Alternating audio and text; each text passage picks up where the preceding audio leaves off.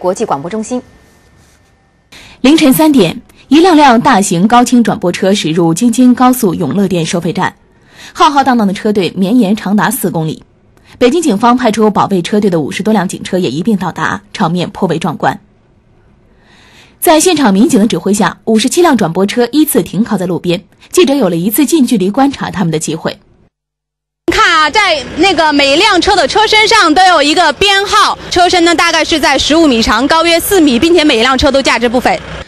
本次入境的五十七辆奥运转播车来自英法意等七个欧洲国家，他们刚刚完成欧洲杯的转播任务，便于七月二号马不停蹄地从意大利装船起运中国，在海上航行二十二天后抵达天津港，然后改走陆路从天津开往北京。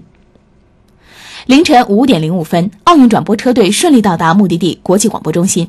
奥运史上最大规模的电视转播车集中转运工作圆满完成。啊，经过五个小时的行程吧，呃，应该说呃安全的抵达了北京奥林匹克中心区的这个停车场，这也标志着奥运历史上规模最大的电视转播车的集中转运工作圆满完成。